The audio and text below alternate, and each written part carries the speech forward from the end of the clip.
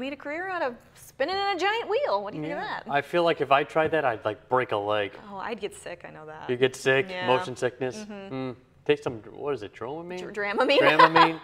yeah, I'm, I'll be a great doctor, let me tell you.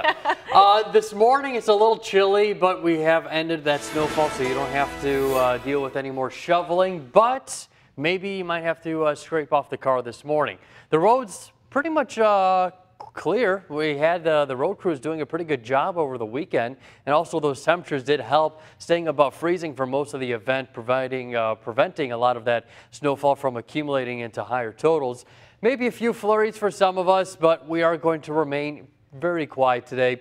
High pressure is going to start to work its way in here by later this evening, but right now we're in between two systems. Uh, low pressure off towards the east, high pressure off towards the west. The storm system in question is lifting off into uh, parts of uh, eastern Canada. So still a little bit with that influence. That's why those winds are a bit breezy this morning.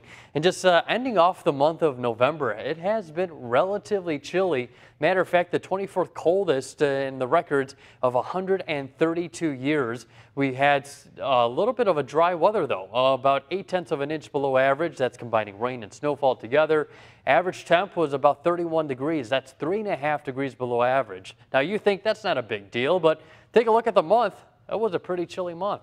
Uh, temperatures today will not be fluctuating by much uh, in terms of highs. We'll maybe add another one, two, or three degrees at most under mostly cloudy skies. Then later on this evening, we'll have that high pressure finally return and bring us uh, some gradual clearing, and that'll cool us off into the lower 20s. And then for the day tomorrow, looking very nice. Mostly sunny skies, winds will be calm, and temperatures will likely be in the upper 20s or so.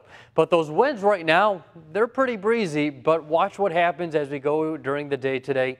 They do start to subside. So if you're not a fan, and honestly, me personally, I don't like gusty winds, especially in the middle of winter. It makes that wind chill feel even worse. Those winds will start to subside by later tonight as high pressure moves right overhead into the Midwest. 31 degrees for an afternoon high temperature, mostly cloudy skies, winds out of the north and northwest at 5 to 15 miles per hour. Then we will start to see those skies gradually clear overnight tonight. Temperatures cooling down into the upper 20s. And then for your high temperature for tomorrow, uh, 27 degrees, uh, winds out of the north at uh, 5 to 10 miles per hour. And we will start to see a comfortable week. Maybe a chance of some flurries on Thursday, but overall very quiet, benign. Now the only downside is that after a weak clipper comes through on Thursday, our temperatures look like the middle of uh, winter behind it. 17 on Friday, 20 on Saturday. A little cold. Just a tad. Need to bundle up. All right, still ahead, what the American Academy of Pediatrics is saying about electronics for your